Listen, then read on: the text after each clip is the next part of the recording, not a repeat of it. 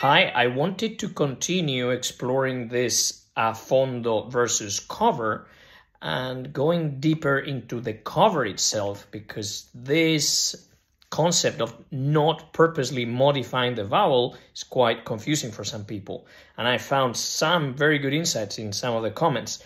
What we do is we allow the vowel to become, let's say, longer. But in Italian, we say allungare.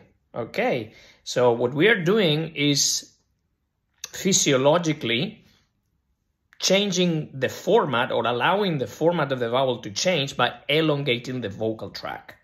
And thus, la. The last note is covered. La.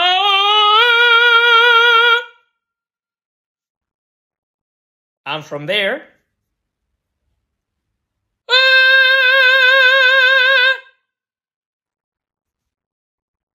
There you have it.